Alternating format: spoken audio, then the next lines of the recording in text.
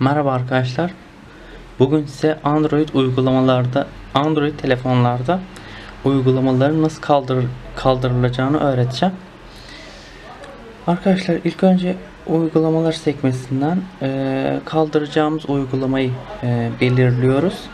Kaldıracağım uygulama arkadaşlar Vodafone TV uygulaması olacak ve bunun eee, size nasıl kaldırılacağını göstereceğim. Bu herhangi bir uygulama olur. Ben sadece şu an örnek göstermek eee, göstermek için eee Vodafone TV'yi kaldıracağım. Yani herhangi başka bir uygulama da kaldırabilirsiniz. Arkadaşlar ayarlar sekmesine giriyoruz. Arka e, ayarlar sekmesinde uygulama yöneticisi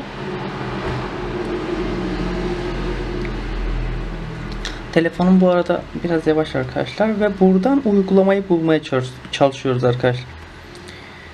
Uygulamayı bulmaya çalışalım.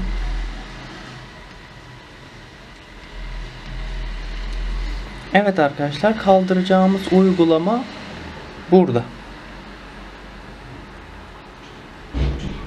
Ve burada kaldır diyor arkadaşlar.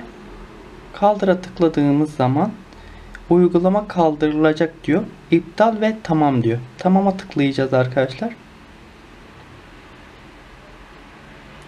Uygulama kaldırıldı arkadaşlar ve tamam. Bu kadar arkadaşlar. Görüşmek üzere.